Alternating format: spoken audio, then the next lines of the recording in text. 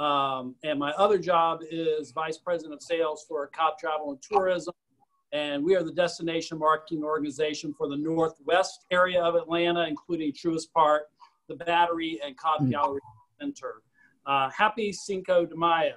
Just want to remind everyone that you do enter um, muted. So um, there, there are, are going, there's going to be an opportunity to ask questions via the chat and not verbally. Um, and I'll get I'll get to that in a in a moment. Um, but we do want to be mindful of everyone's schedule today, so we are beginning. Also, uh, we are recording this event today, so just let one know. Um, welcome to the first live online event hosted by the PCMA Southeast Chapter. And the Southeast Chapter is comprised of seven states and Puerto Rico. However, we serve over 500 members all, all across the country in Canada.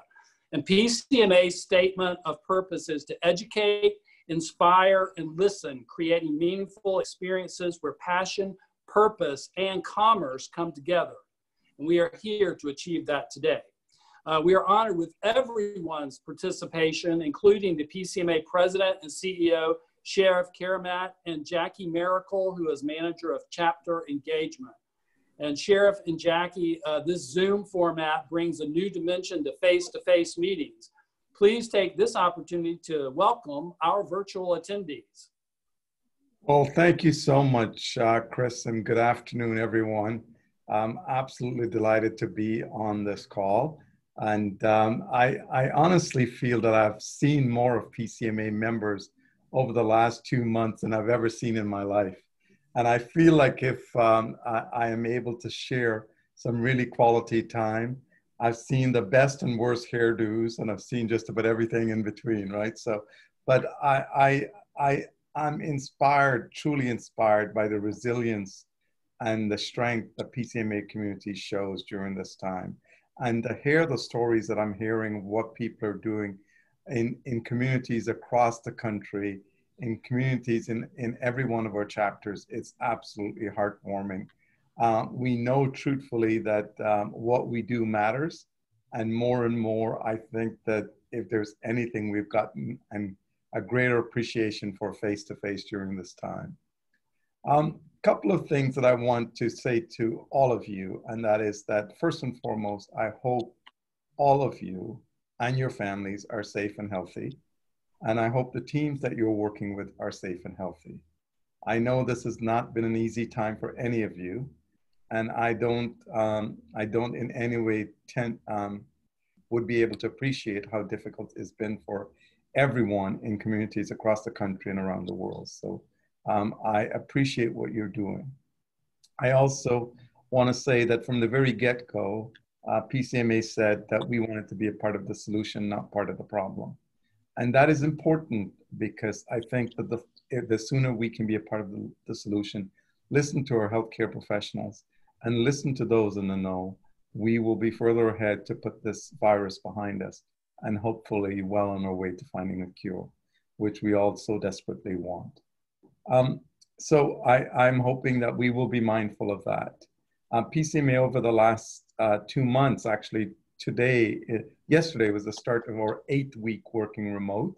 So your entire headquarters team is working remote, as all of you are. And so, um, so it's been a very different experience, but it's been a good one. And um, I want you to know that membership at PCMA, you could email us at any time. Jackie's on the call. You can contact her at any time. Um, but we are here for you and anything you need, please do not hesitate. Uh, Chris, I thank you and the team um, for all you're doing for the chapter and all our members uh, in, the, in the chapter. Um, this is really, really um, great, and this webinar is great. I also want to extend my thanks to the panelists um, who are going to conduct this great webinar for us. And it's going to be very insightful. And I'm seeing uh, some of you haven't seen in a few months, actually, since convening leaders. So it's nice to see your faces. So thank you, Chris. I turn it back to you very quickly. Uh, thank you very much. Hey, Jackie, uh, we greatly appreciate you as our chapter engagement. Um, um, so please just say hello to everyone. Hi, everyone. Just want to echo what Sherrif said um, that first and foremost, we hope that you're staying safe and healthy. Uh, and want to remind you that you can always reach out to us. Uh, we want to keep our community whole at this time. We have some great resources available for you, uh, and I've put that all in the chat. So please feel free to contact me directly or my team. Thanks so much. Thank you very much. Um, yeah, thanks, Jackie. Um, just a reminder for the new people who are coming on, this is being recorded live. Um, uh, we have a, approximately 170 plus attendees.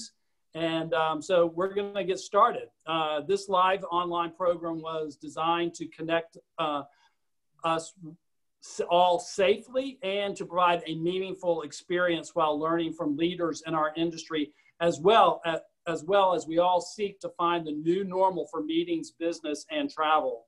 And our goal today is not to rinse and repeat the information that you've heard these past few weeks and month, but to provide tangible examples from industry leaders.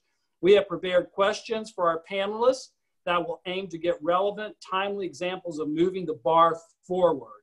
The first 50 minutes of our program today will be, moder- will be a moderated panel and a Q&A. We welcome you to use the chat feature to ask any questions of our panelists, and we'll do our best to get them to them throughout the program.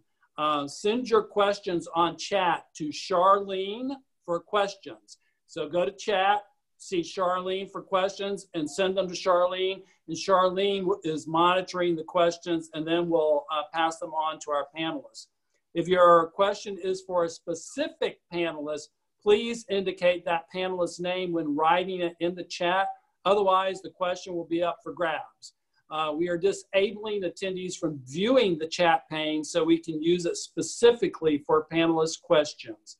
The last 10 minutes of our program has been designed for socializing, and we'll break into smaller groups for a Cinco de Mayo themed happy hour. So when that time comes, grab a drink and we can all cheers together.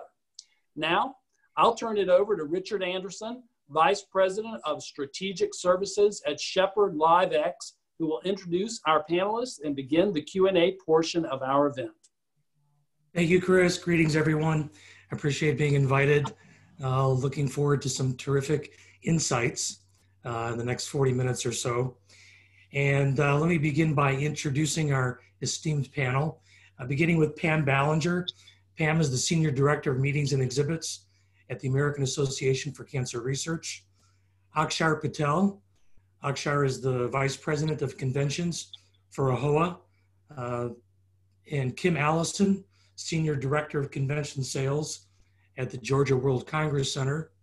And Mark Barton, the Area Director of Sales for Marriott International. Welcome, everyone. Pam, we're going to start with you because you have the distinction of having just done a virtual event one of the uh, one of the early early practitioners here. So I know your organization made the decision uh, to convert your April event. Uh, when did you actually make that decision? Well, we terminated the meeting on March 10th, and we decided that we would do at least virtual one on March 16th. Um, and we were going to try and reschedule the meeting uh, for the rest of it, but um, we're doing virtual two at the end of June. That's a pretty quick turn for an event of your size. How many attendees do you typically have at the in person? We usually run about 22 to 23,000. Wow. And how many did you end up having at your virtual? 62,000. Impressive. Uh, I'm curious, do you uh, did you charge for your virtual attendees? No, we did not. We did. We determined that the, at least the first one would be free. Um, it was very important for us because it was the clinical trials, and it was time sensitive, so it had to get out. And uh, we made the decision to not charge. Terrific. Well, I have a ton of questions for you, but uh, we need to get things rolling. So uh, I'm going to start out with one of the more important ones. I'm really interested in what are your your most important key learnings from doing this first one, and then how those key learnings may affect uh, the second one, which I know you already have underway in terms of planning. So I think it's like with anything else. It's it's it's the communication. We really learned to um, communicate not only to our speakers who are used to running into a speaker ready room five minutes before they present to uh, sticking to the deadlines to make sure that we decided to go with recording. So all of our presentations were recorded. So everything had to be time sensitive, which was very, very difficult for scientists. Um, the second thing was the communication that we had with our vendor is really to sit down and understand what your expectations are and clearly understand whether they can meet them. Um, we made, we went through this so quickly that as we got into it, we found that initially some of our communications were not as strong as they should have been. So uh, it is the same as planning a regular meeting and a virtual meeting. It is about communicating with your vendor, setting your expectations and what your goals are, and then communicating clearly to the attendees and the prisoners. And so much of what we did was on the fly. So we are now sitting down with kickoff for virtual meeting two and making sure that all of us know are on the same page. Terrific. Thank you very much. Uh, I've got a few more questions for you, Pam, but we're going to move on and we'll come back here in a couple of minutes. Akshar, um, I know that your annual conference was scheduled for last month uh, in Orlando, and you have all decided to postpone. Um, obviously, making people feel safe and secure, you know, is top of mind for most everyone. So, as you're planning for the postponed event, uh, what accommodations are you making? Yeah, you know, it's a great question. While there's so much uncertainty with, um, you know, protocols or mandates coming out, and uh, there's a lot of different messaging, whether it's on the federal side or the state side and the local side of, of what is to implement and what is not to implement. We started our own kind of, you know, safety and crisis plan internally.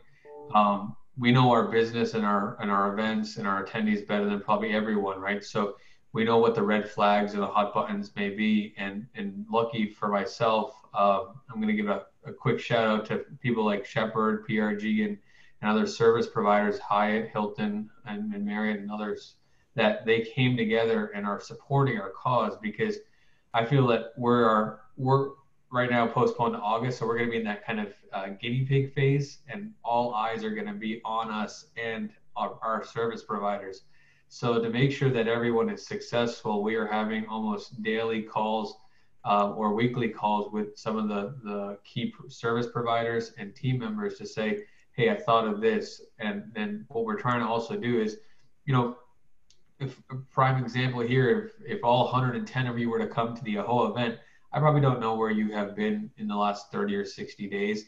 However, I could probably pinpoint all the touch points that you probably have had to encounter from leaving your homes and your families to come to the event and go back. So we're trying to put ourselves in the attendees' shoes to go through all of that so that we're we're well prepared and thinking of oh I need a sanitization station here or someone may feel uncomfortable here so let me put in something that would be comfortable there. So we're you know we're role playing but we're also creatively thinking outside the box with uh, many people just like everyone else on this call.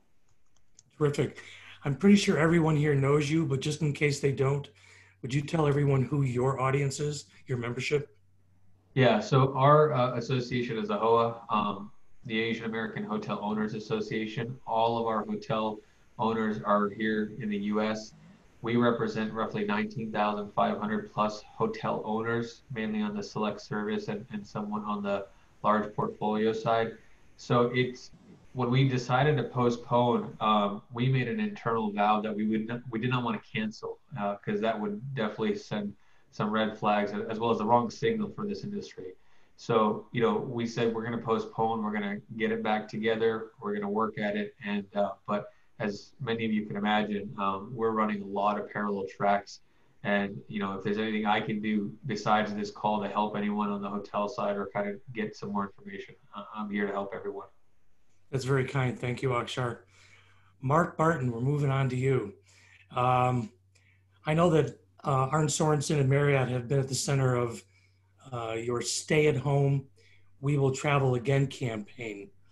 Uh, I'm very curious about how Marriott and all the other various property departments are managing the reopen of properties. And just to keep it close to home, can you tell us anything specific about, you know, an Atlanta area property and how they're prepping? Yeah, sure. I think I think it, first of all, I think it's important to uh, uh, say thank you and to shout out to all of you. You know, this has been a very difficult time for the travel industry in general, right? And I know that some of that was already touched on, but I think it's very important uh, that we can't say thank you enough and to hang in there enough, right? Uh, during this tough time. So we certainly appreciate all of you and being here today and continuing to hang tough. Um, you know, we're we're now living in this age of COVID nineteen. I think it's important that we, if you'll permit me for a little bit, I can go back a little bit into the February timeframe because I think it's important for um, everyone to understand that from a specifically a Marriott perspective, but also even from an industry perspective, but specifically for Marriott, we were already uh, moving into uh, a scenario where we were um, cleaning at a higher standard as early as February, simply because of what we had seen in China. And we've got cleaning standards for the norovirus, which is very similar. If you look at the CDC guidelines, those are very similar standards. So we were already moving in this direction. And I say that only for this purpose before I get into what we're doing uh, next, is because, you know, for our industry, while, while this virus is definitely new, um, having to address, you know, high levels of standards for uh, strange viruses coming in the door is not something that's new to our industry, right? Which I'm sure that all of you recognize. So, you know, as we, um, however, when we get into this um, COVID 19 era, you know, you probably saw just recently where um, Marriott put together a global cleanliness council that um, is all of our senior leaders from across global operations and disciplines like housekeeping, engineering, food safety, occupational health, and the associate well being. Um, and we also have included outside experts and I'll tell you, you know, it wasn't listed in the, um, it was mentioned a little bit in the press release, but I think probably the most important uh, outside experts for us to have paused and listened to was our customers, some of who are on, you know, this call today. And we did meet with a lot of our customers, and we continue to be listening to our customers because we've got to understand what are the concerns and where are the uh, pressure points for them. Um, once we uh, did that and we put together this council, then we reached out to outside experts like uh, Ecolab, Adventist Healthcare, um, Purdue, and their hospitality tourism management school, you know, as well as uh, Cornell, uh, to uh, start putting together our cleanliness standards, right? So some of the enhanced technology that we're now uh, pushing out to our hotels, uh, some have already received and you know some will be getting soon or like you've seen a lot on the electrostatic sprayers with the hospital grade uh, disinfectants coming out and really what that does is it allows us to clean our rooms faster and and to be more pervasive in the rooms uh, to really make sure that you know people can walk in with confidence and all the nooks and crannies have been uh, disinfected so um, Certainly, we're also looking at other technologies. Most of our hotels have keyless access to their rooms, but for those individuals that are using keys, we're looking at ultraviolet light technologies and other technologies to, to make sure that we're uh, disaffecting those keys. One of the things that we had started with before we went to some of these, you know, higher standards of cleanliness were just some of the basics like signage in our hotels. Every one of our hotels, you mentioned local uh, marketplace. I can say this in the local market right now that all of our hotels in the Atlanta market, you know, already have signage and floor stickers to remind people to social distance, uh, signage in all the hotels, signage at the front doors, uh, monitors around to remind folks to social distance. And so that way, as they're lining up for their Starbucks coffee, uh, they can stay six feet apart. Um, so uh, we're continuing in that direction.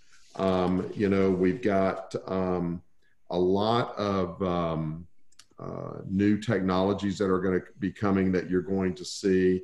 And uh, we're going to continue to listen to the customers and the experts and make changes as we move forward. But I think it's important for everybody to know that when they start meeting in our hotels again, that they can be assured that we're doing everything in our power to create a safe environment for meetings to come back. Thank you, Mark. Kim Allison, uh, I think we learned maybe around April 12th that the Georgia World Congress Center was being transformed into, I think it was a 200 uh, patient care facility. Can you share any stories with us about how that all came together and how it's all gone?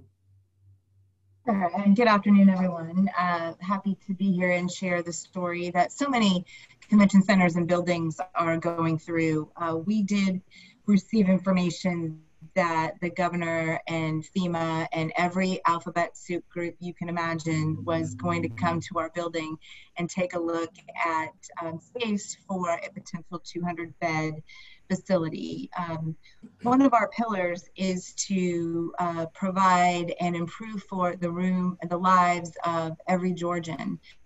So it's our pleasure to be able to serve as such. And um, I also was concerned about what would happen if we became a facility, how that would impact our hospitality community, also Georgians who are looking to get their jobs back. So I was pleased to be able to serve on the forefront in the site visit experience where we could ask those questions. And I know our customers, as well as everyone who works in the community, was very interested in finding out how process would end up. And I was very pleased to say that every group that came in um, assured us that the building would be in better shape when uh, everybody left it from a cleanliness standpoint. And all of the mounds of paperwork and laptops that people pulled out on site visit with uh, protocols and cleaning and maps and crawling through uh,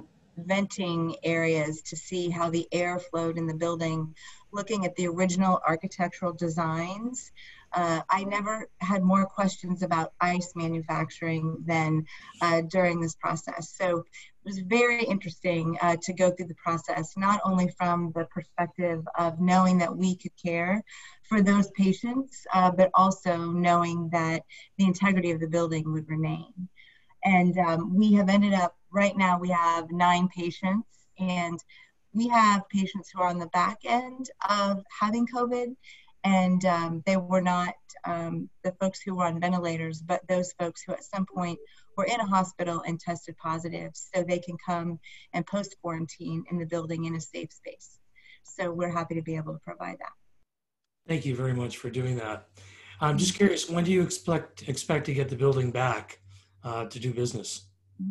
They uh, were very respectful of us, uh, probably because I looked at them with my eyes crossed, um, but they were very respectful of that process and very kind. Uh, the out date is May 21st with a five day remediation uh, where they will, again, do uh, top to bottom refurbishing. So I feel like May 26th, it's going to be the cleanest place on the planet. So we should all come there. Terrific. All right, Pam, we're heading back to you. Um, getting back to in-person events, once your annual next year in DC takes place, uh, what specific changes are you planning to make to things like layout, registration, general session, exhibits, etc.?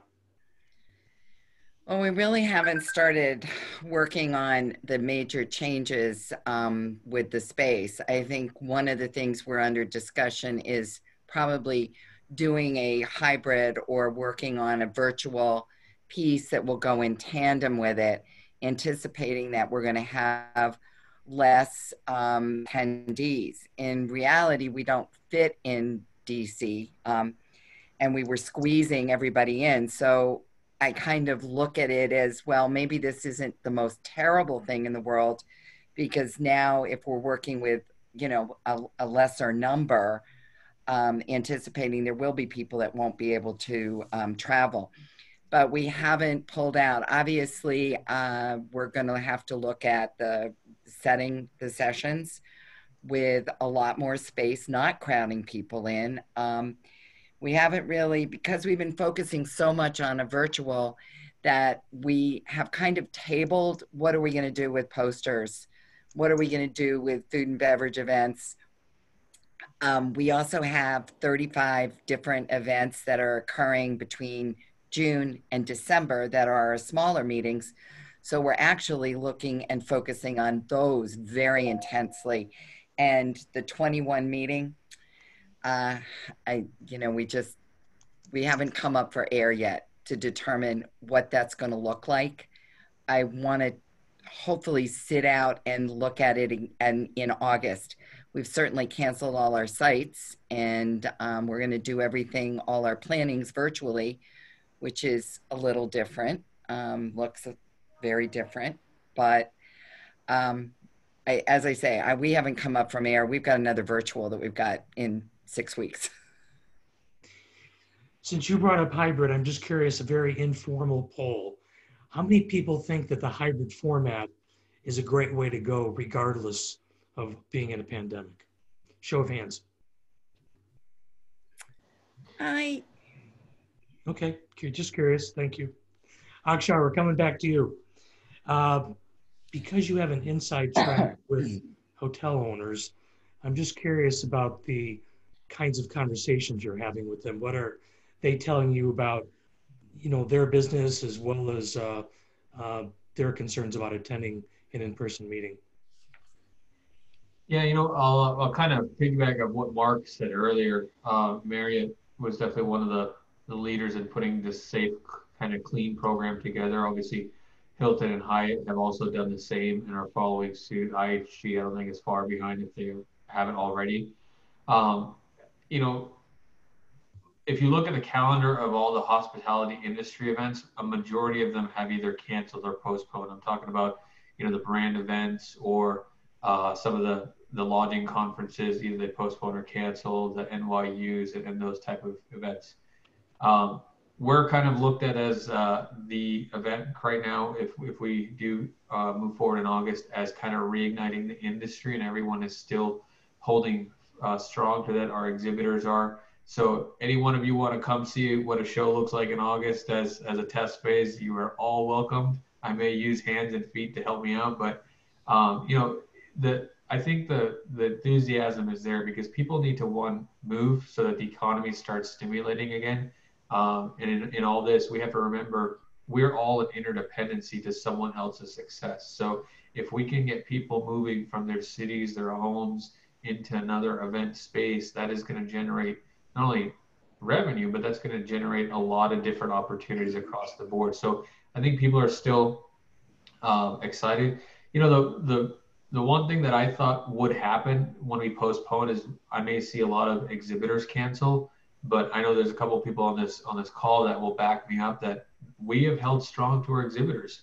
Um, we typically see anywhere above 700 or so. Yeah, we've had some cancellations, roughly maybe about 80 or so, but out of 700, 80 is almost nothing, and and 600 plus exhibitors are still holding strong to come to AAHOACON and, and network and start this uh, industry back up. So that gives me a, a, lot of good moral support, but also uh, motivation that people are wanting to start back up again.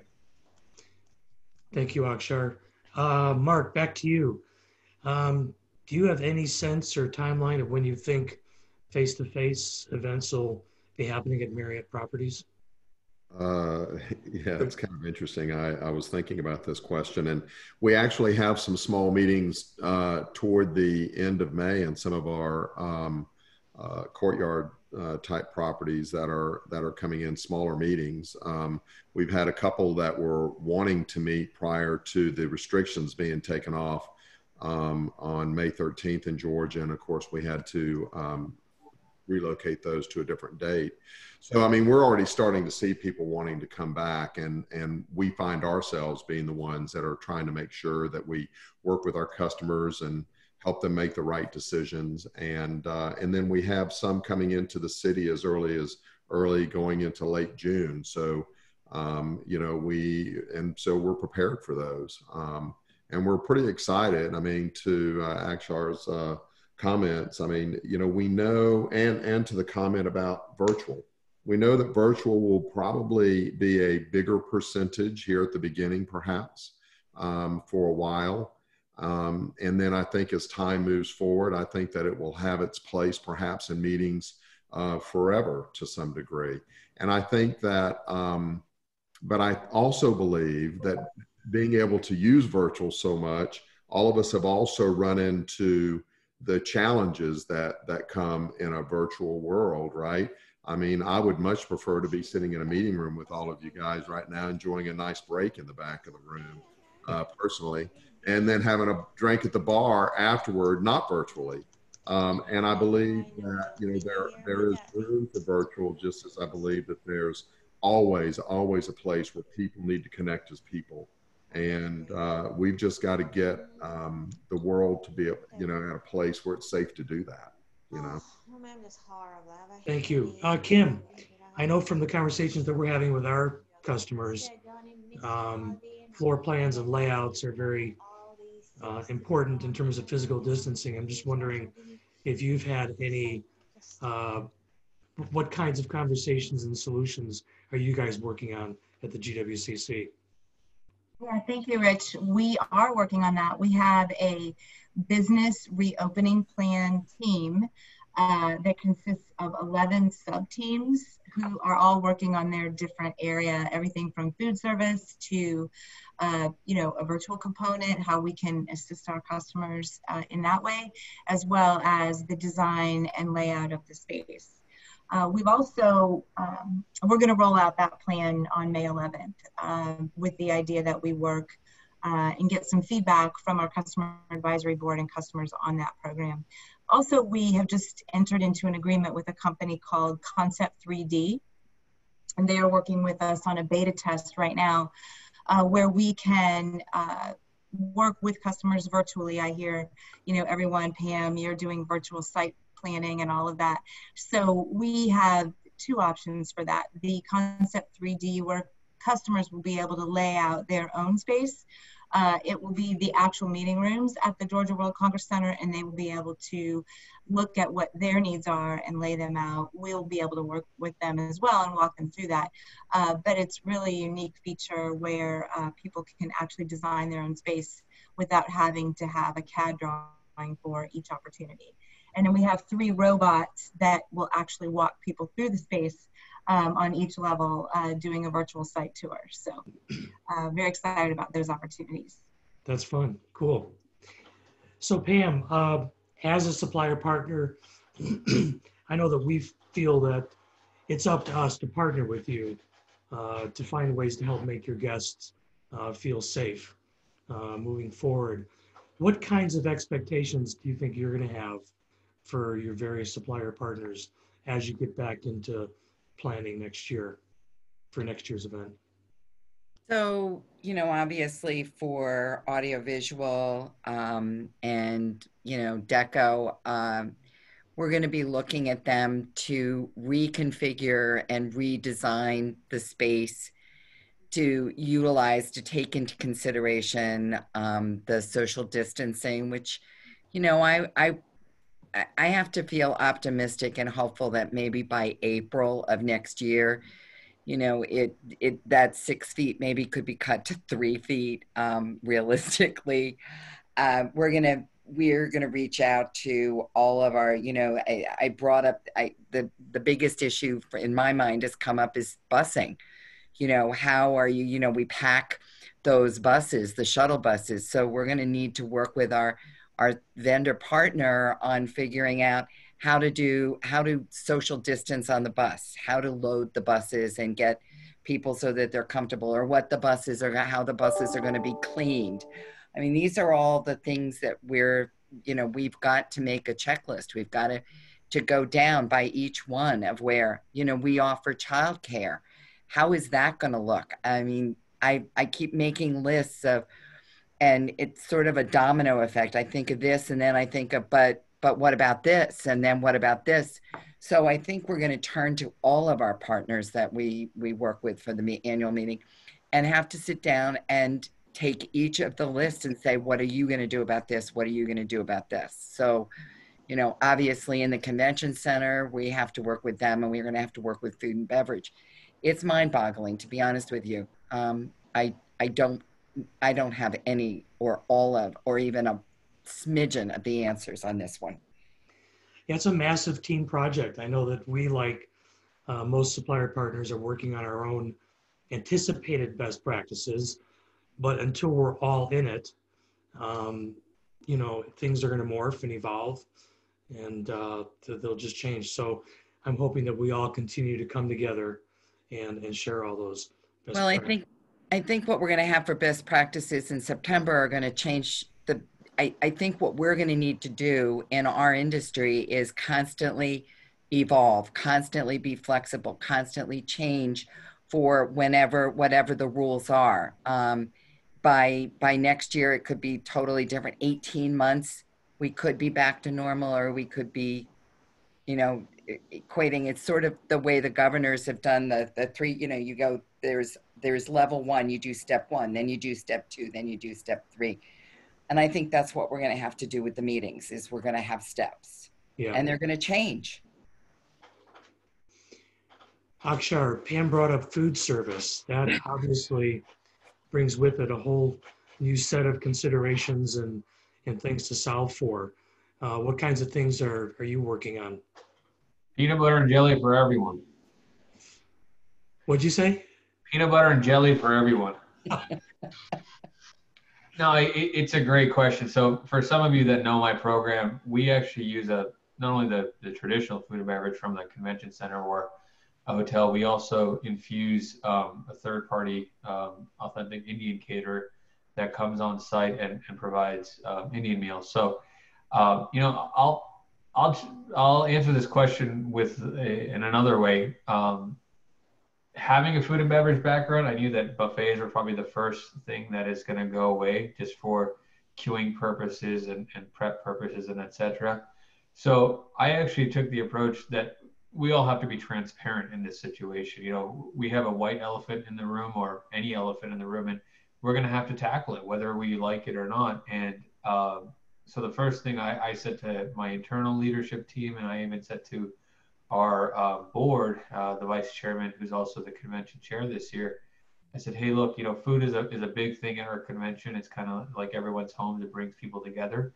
But we may have not uh, the luxury to do buffets and even pushing that a little further. We may not have the luxury of infusing a third party caterer because if I look at it from the, the venue standpoint or a hotel standpoint, or even a, a Centerplate or Sodexo type standpoint, everyone is is just scared of the insurance and the liability, right?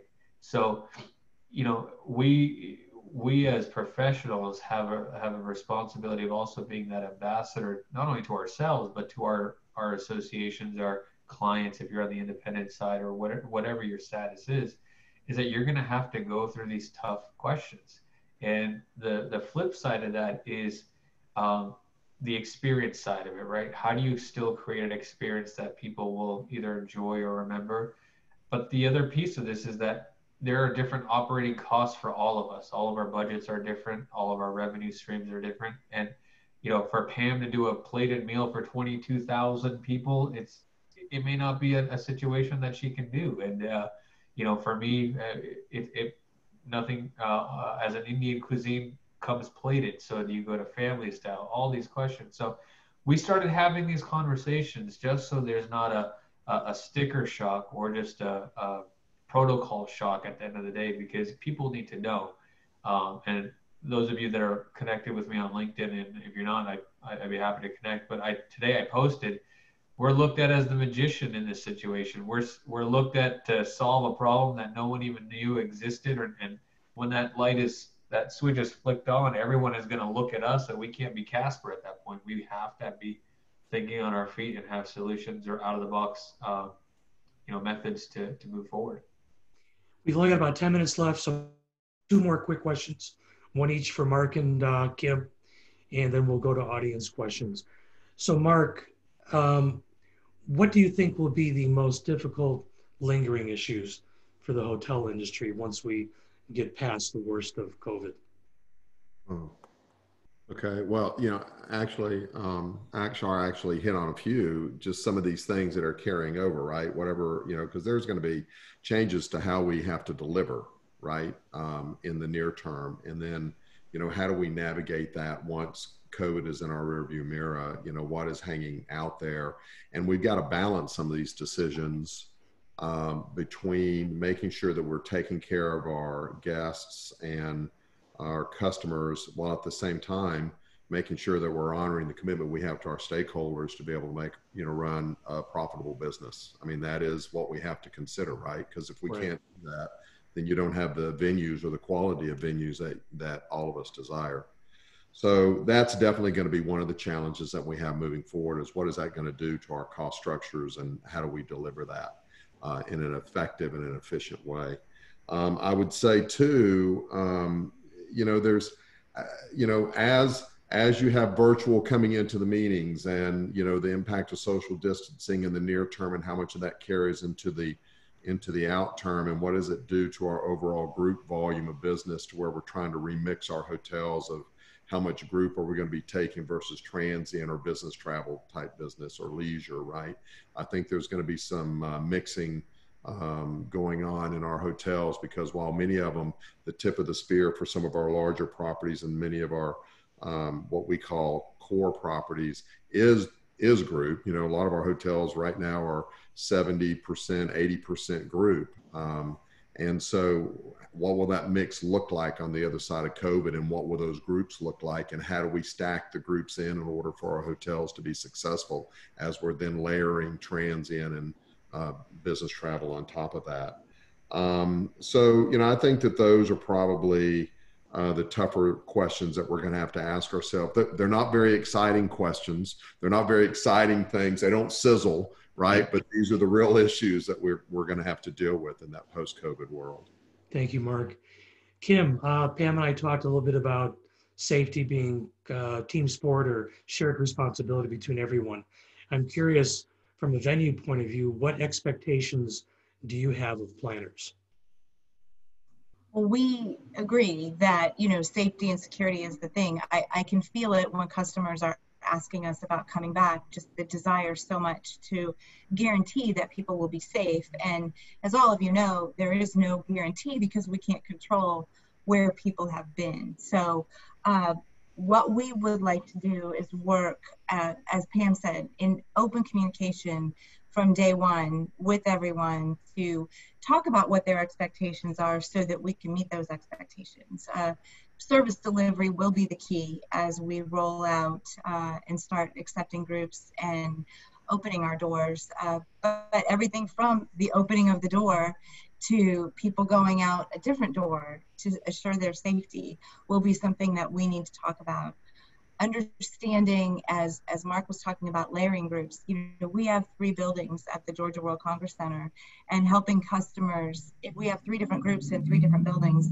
helping those folks feel comfortable and perhaps engaging groups who are going to be in the building together to understand what the plans of each other are so that we can all assure each other's safety. So i think it just boils down to a basic open communication and uh, we're actually getting together tomorrow to look at a 30 60 90 and even 120 day out uh, communication plan with customers so that we can include everybody's expectations with our business reopening plan. So we understand where we're going to be in june in july and as i think i heard pam say if we don't understand that we're going to continue to evolve then we're missing the mark. But we know that whatever we roll out in in June or July will be different than what we're going to be looking at in September. And we hope that everyone will help us provide the feedback uh, to keep adjusting those plans.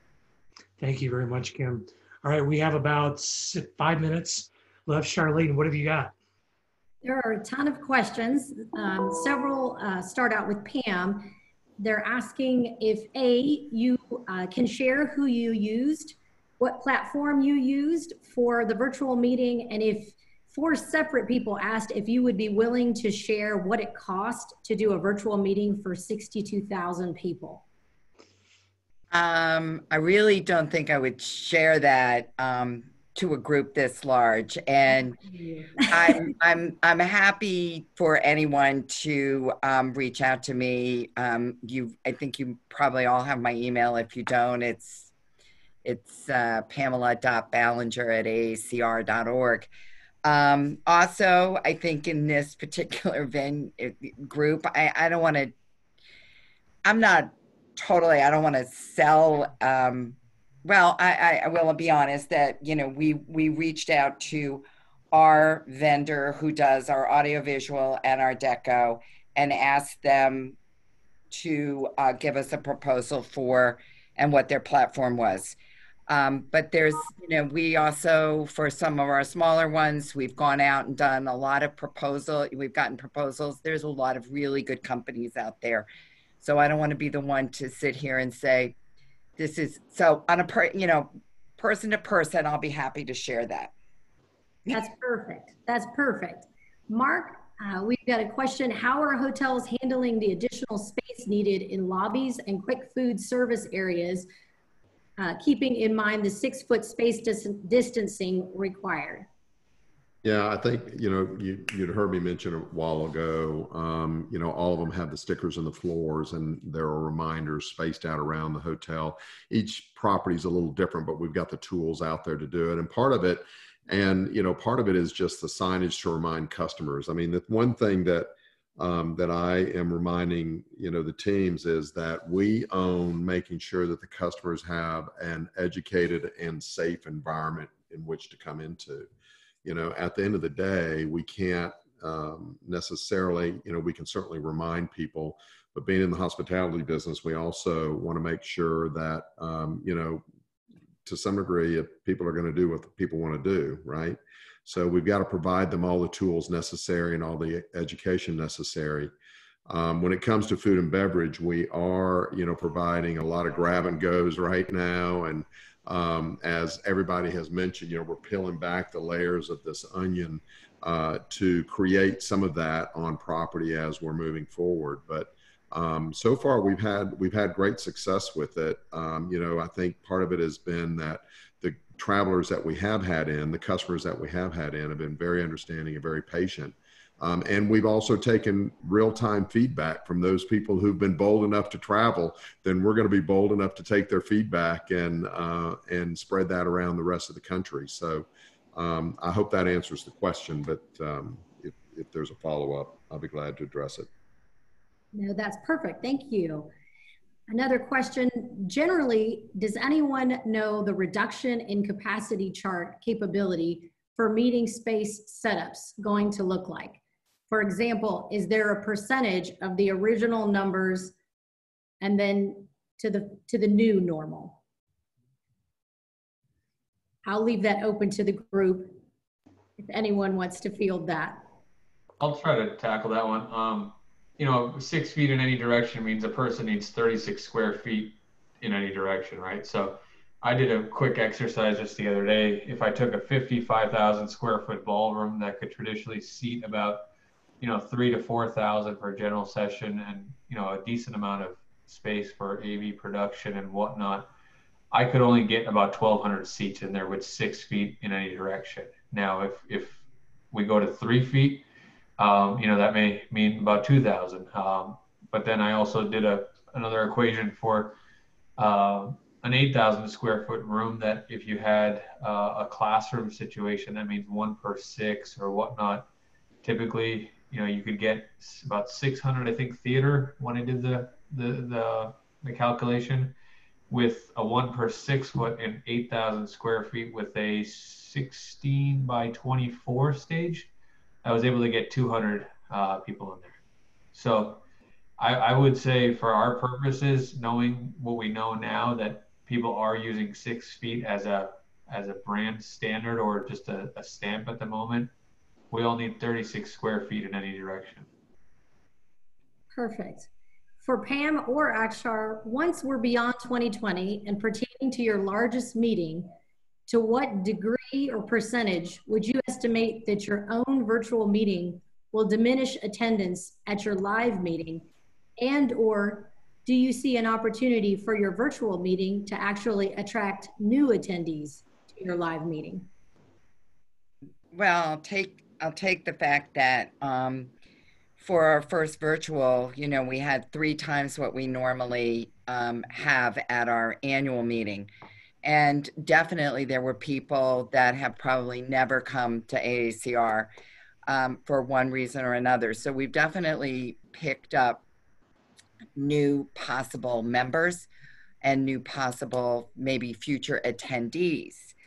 Um, I personally don't think that when we can go back to face-to-face meetings that we will see the virtual diminish what we get. When we can go back to what is a normal sci- I, i'm speaking from doing medical meetings where scientists come to the meeting not only for the science but they come because it's an opportunity for them to network. And there's a lot of science that goes on you know, outside of the meeting rooms in the halls in the and there's and that that's lost. That is not there. I mean we we had q&a and we had question you know we had interaction but it is not the same. So i don't see that the virtual is going to diminish what we get for face to face when we go back but i do see that the virtual is giving us a huge opportunity to bring people into the aacr that have never been able to do it because of economics or travel restrictions or whatever. So i think it's i think it's a it's a blessing in both ways, to be honest. That's great. Did that answer the question? Yes, absolutely. And if, if we have time for one more question, Richard, what do you think? Yeah, go ahead. Uh, this is for all of the panel. When do you feel people will feel safe enough to travel via air to attend live live events?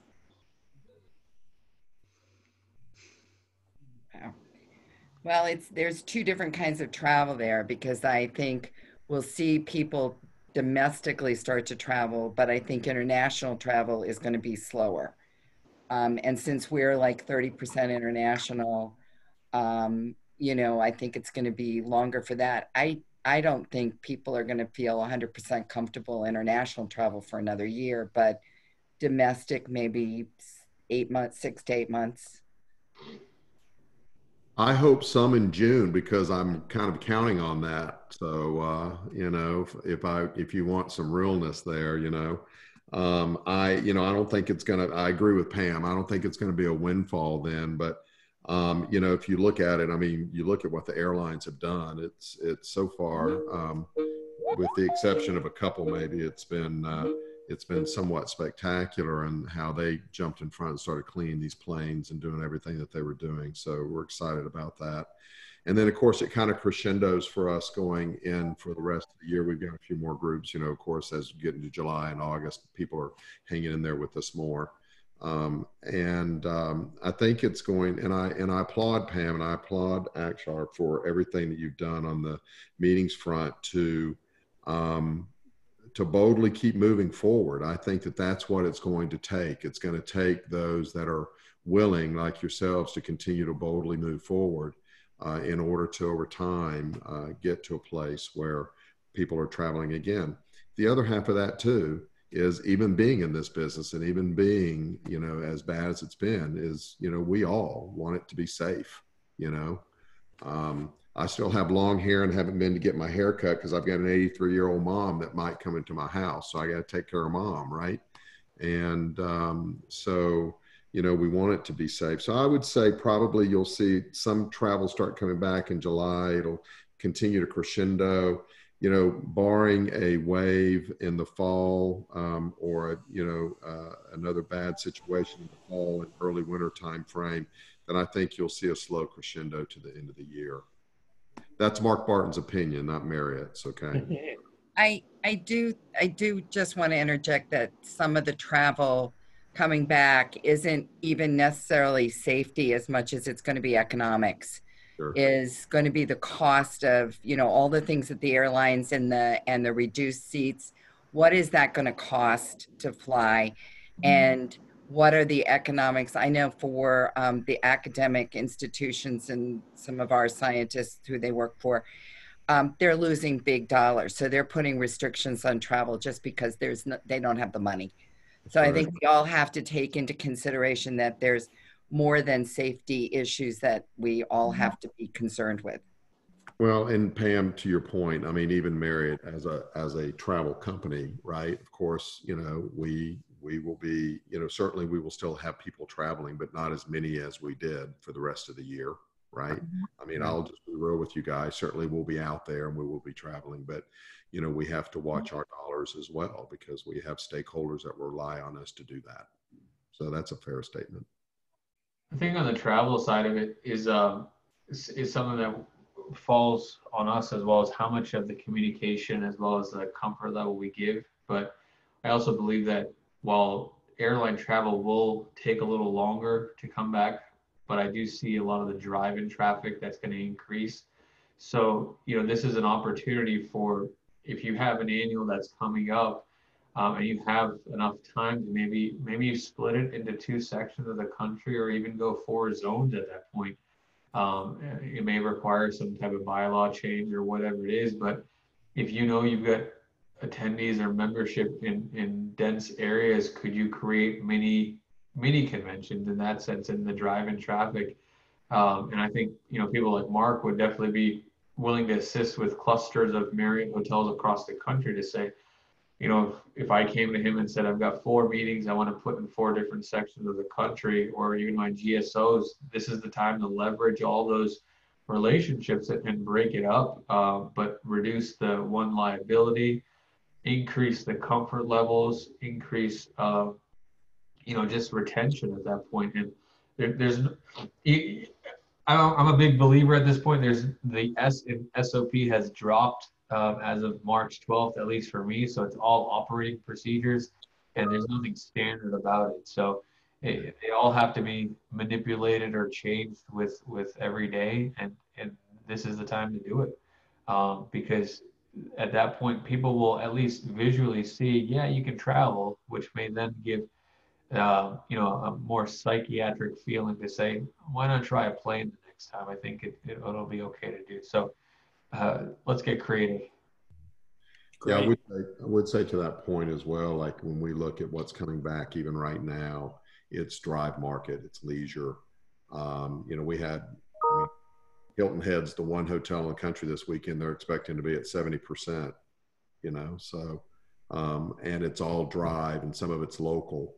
And um, so but then most of our hotels are not that yet. I mean even in china the uh, you know in january those hotels that were open were running 6 to 10 percent. Right now without the rest of the world traveling into china those hotels are now back up to between 30 and 40 percent um, and it is again a lot of it is local travel um, you know so uh, that's an interesting perspective as well yeah uh, thank you all. Thank you, Richard. Thank you, Pam. Thank you, Akshar. Thank you, Kim and Mark, and to everyone for participating today. Um, and I do want to, you know, um, sometimes you run the risk when you when you say a, a special thank you, but I do want to say a special thank you to Michelle Lorber, who is on our PCMA board as the director of live events. Uh, she's worked very hard in uh, putting all of this together. So thank you very much for that, Michelle. Um, what we would like to do, we can take this all also to PCMA Catalyst. There is a Southeast.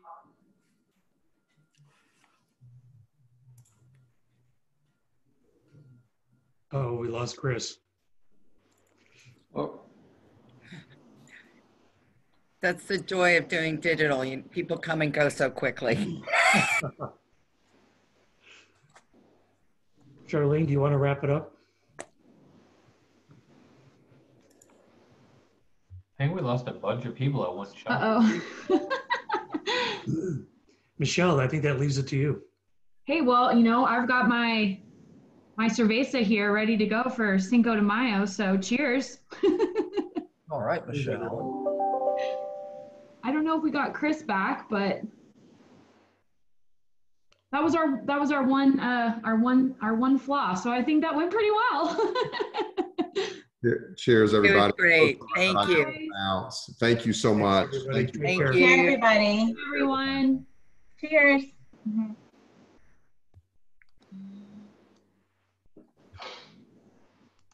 Oh, There's there's Chris. Chris. Oh, there's Chris. There's Charlene. Sorry about that.